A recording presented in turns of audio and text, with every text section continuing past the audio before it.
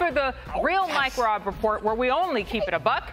Mike Rob, listen, let's give the Jets fans something to get excited about here. Th- This offense could be something real major. It could be something real major. Now, yeah, you know, there's some people out there that don't think that guy Aaron Rodgers still got it. I still think he has Yeah, it, think though. so. I still think he can play at an MVP level. When you got a guy like Allen Lazard, he is the guy that has the trust of Aaron Rodgers. Look at this play right here. Let me identify Aaron Laz- uh, Allen Lazard for you. MJ, he's right here. Mm-hmm. And basically, a lot of times when you put your number one receiver inside, you're just trying to get some space for him. You're going to see him run a little fade route down here. You're going to see the safety try to double back here, and this safety right here drop back here. And just watch the confidence in which Aaron Rodgers throws this football to Allen Lazard because he know Allen Lazard is going to make him right. Allen Lazard didn't open right here right? This isn't open, right? But at the same time, when the ball gets there, Allen Lazard finds a way to catch the football. And this is what I love about him. He's strong enough to get into the end zone. And now you have Garrett Wilson. He is the guy that's going to route you up, right? Here's Garrett Wilson right here in the slot.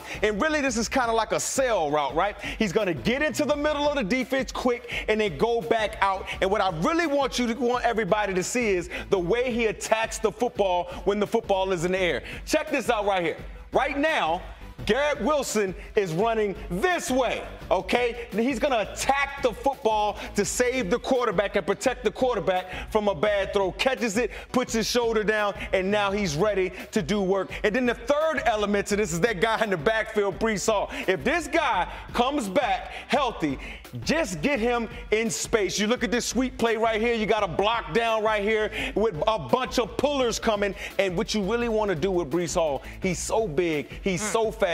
You just want to get him in space. If you if Breece Hall sees a crack like this, he has the ability to go 80, to go 60, whatever it is. This is what scares defensive coordinators at night. A running back with the ability to take it all the way to the house. If Aaron Rodgers, if this deal comes together and he plays for the New York Jets, yeah, that offense is gonna be fire.